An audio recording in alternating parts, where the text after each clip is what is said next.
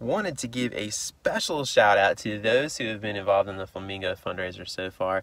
I know a lot of our posts have to do with the Flamingo fundraiser one way or another, but we hope that you will be able to see some of these pictures and video um, and just have some fun with what we've been able to do so far. So as you're checking this out, remember that if you want to participate, you want to honor a friend of yours by donating to the youth group, they will fill your friend's yard with flamingos with 15, 30, or 45, depending on uh, the level that you choose.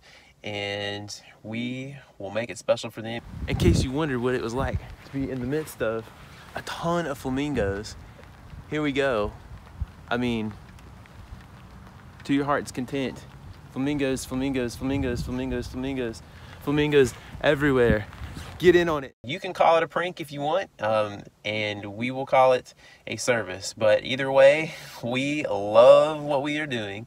And as you can tell, a lot of good work has been put into this so far. There have been so many families that have already done this for each other in the community, inside and outside of the church, as these have moved around. We have been moving the birds from yard to yard since January the 24th, and we will go until April the 30th. So these uh, birds, this flock has been around a lot of places and sometimes more than one yard at the same time.